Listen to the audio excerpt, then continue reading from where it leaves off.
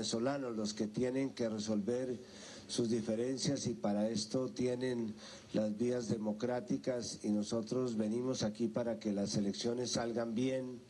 para que sean transparentes, para que sus resultados sean aceptados como prueba de la reiteración del compromiso democrático de los venezolanos, que es un compromiso que viene desde las épocas de la independencia. Y traemos eh, importantes figuras, entre ellas eh, el representante especial de UNASUR, el expresidente Leonel Fernández, tres veces presidente de República Dominicana,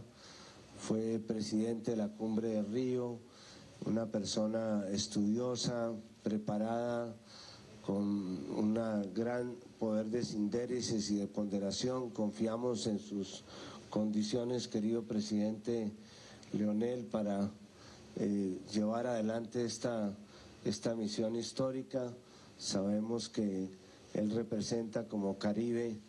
eh, al Caribe dentro de UNASUR y en UNASUR qué más Caribe que Venezuela, de tal manera que ese vínculo profundo entre UNASUR y el Caribe va a quedar reiterado con la presencia de, esta personalidad de la región que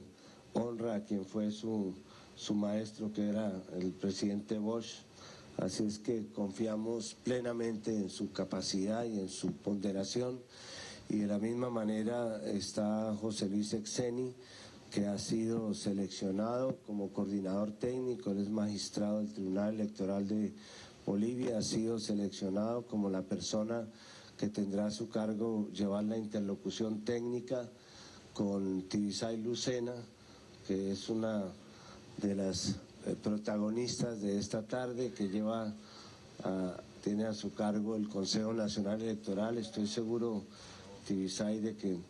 también tendremos en, usted un claro respaldo para que estas elecciones salgan bien y para que de ellas resulten lo que todos esperamos de las mismas. para mí es un motivo entonces venir a, cumplirle a los venezolanos con este compromiso que hicimos. Eh, fuimos invitados como observadores internacionales, sabemos la responsabilidad que tenemos en tal condición y estamos seguros de que no vamos a ser inferiores a esta